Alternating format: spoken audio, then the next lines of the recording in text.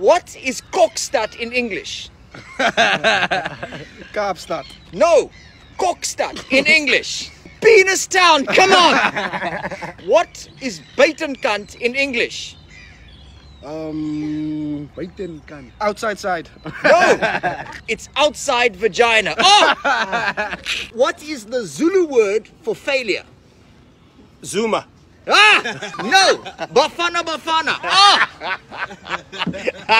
Here's my question. The Zulu word to leave is kuhamba. In isiXhosa it's tuhamba. In Seswati it's tuhamba. So what is the Shangaan word? Yo, Famba. Famba. Famba! You know Yeah. why it's got an F? Why? Because they added footsack. Oh!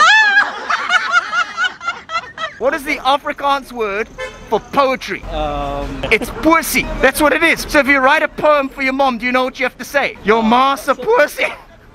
Your face looks like it's being cling wrapped.